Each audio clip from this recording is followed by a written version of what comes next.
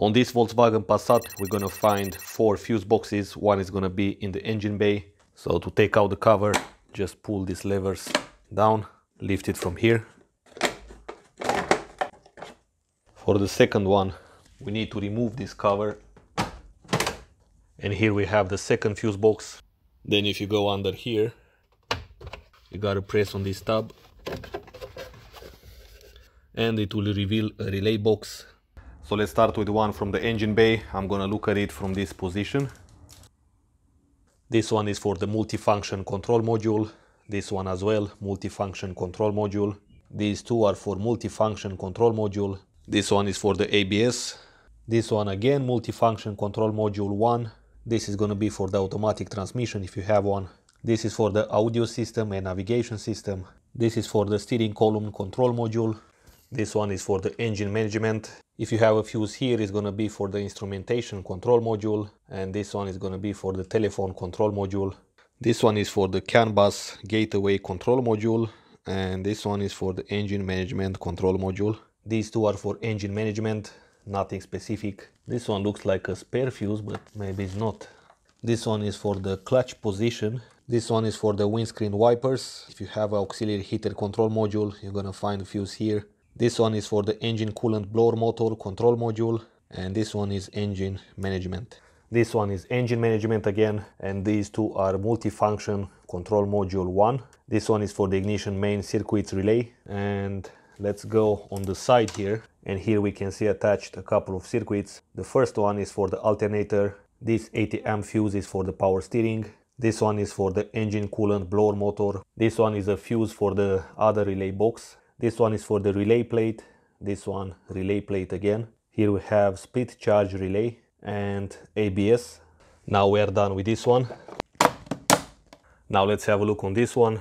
Okay, so here we have fuse number one, which is missing on this car. It's gonna be for the AC high pressure sensor, air quality sensor, oil level and temperature sensor, blow relay, DC to AC converter with socket, and automatic anti-dazzle rear view mirror. Fuse number two is the light switch, TCS ACP button, auto hold button, ABS control unit, power steering control unit, handbrake control unit. This one is for the power supply relay, crankcase breather heater and injectors. This one is for the damping control unit, adaptive cruise control, parking control unit, parking assistant control unit, trailer detection control unit, camera control and diagnostic connector.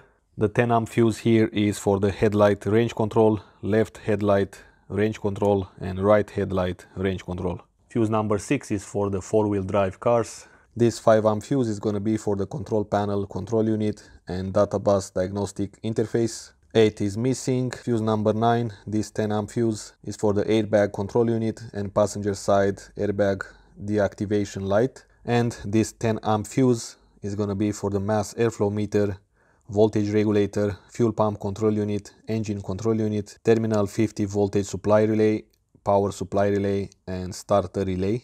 That's a lot of things in there. This one is for the comfort system control unit.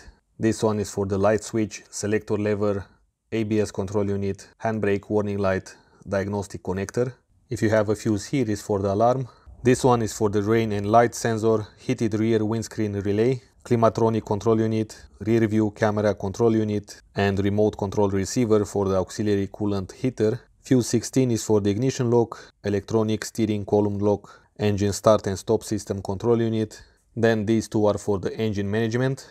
This one is for the handbrake control unit, the 20 amp fuse. This one is for the trailer detection control unit and electronic damper control unit. This one is again for the handbrake control unit, emergency assistance call switch, if you have sliding roof, you're gonna find a fuse here. This one is for the fuel pump control unit and fuel pump relay. This one is for the rear passenger door control unit and driver's door control unit. Heated rear windscreen, the headlight washer relay and headlight washer pump. This one is control unit for the heated front seats. This one is for the driver's seat adjustment switch. This one is the trailer connector socket supply relay. Again for the trailer, this one is for the blower relay, blower control unit and air conditioning control unit. This one is for the selector lever, reversing light switch and mechatronic unit for the dual clutch gearbox. This one is for the power supply control unit, rear wiper motor and front and rear washer pumps. cigarette lighter and rear cigarette lighter. This is another 12 volt socket.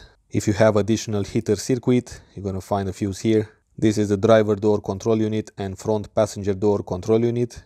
And this one is for the control panel unit. Now let's see the relays. This one is for the ignition main circuit relay. This one is for the multifunction control module relay. This one is for the heated rear window. This one is the horn relay. This one is for the windscreen wipers. And this one windscreen wiper speed relay and ignition auxiliary circuits relay. This one is for the auxiliary heater relay. Then we've got heater blower motor relay. And this one is the fuel pump relay for diesel. And those are pretty much all the fuses and relays from this car. On your car, you might have more fuses or less fuses than this, depending of how many options the car has. Don't forget to give this video a thumbs up if you liked it. And as always, have a nice day and I will see you in the next video.